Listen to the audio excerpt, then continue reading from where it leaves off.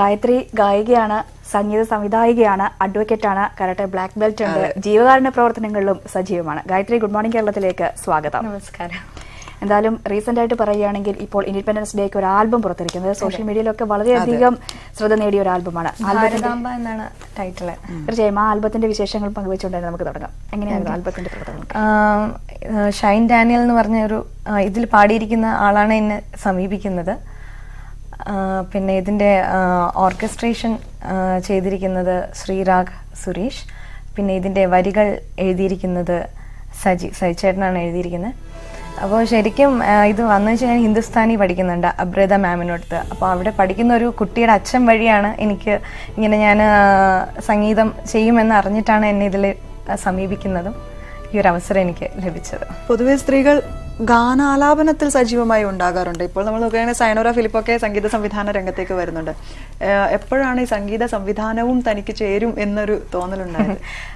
ശരിക്കും ഞാൻ വളരെ കുഞ്ഞിലെ തന്നെ ചില പാട്ടുകളൊക്കെ സ്വന്തമായിട്ട് എഴുതി ട്യൂൺ ചെയ്യുമായിരുന്നു.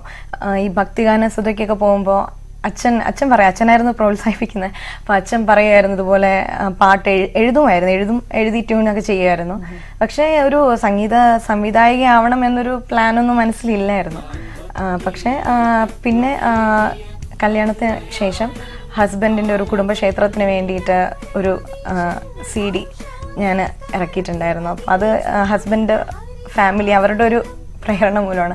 അപ്പോൾ അത് കേട്ടിട്ട് ഹരിശ്രീ യശോകൻ സാറിന്റെ ഷോസിനൊക്കെ ഞാൻ പോകാറുണ്ട്. അപ്പോൾ സാറിന്റെ മാനേജറും പിന്നെ ഈ ഞാനിപ്പോൾ അദ്ദേഹം എനിക്കൊരു കവിത തന്നിട്ട് ഇതൊന്ന് ട്യൂൺ ചെയ്യാമോ എന്ന് ചോദിച്ചു. അത് എഴുതിയത് ജയകൃഷ്ണൻ കടന്തേരി എന്ന് പറഞ്ഞിട്ടൊരു ചേട്ടനാണ്.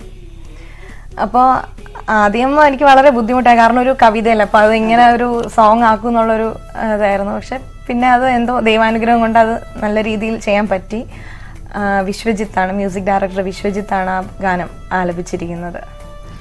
അങ്ങനെയാണ് ശരിക്കും പറഞ്ഞ ഇതിലോട്ട് വന്നത്. അപ്പോൾ ഈ ഓരോ ചെയ്യുന്ന ഓരോ വർക്ക്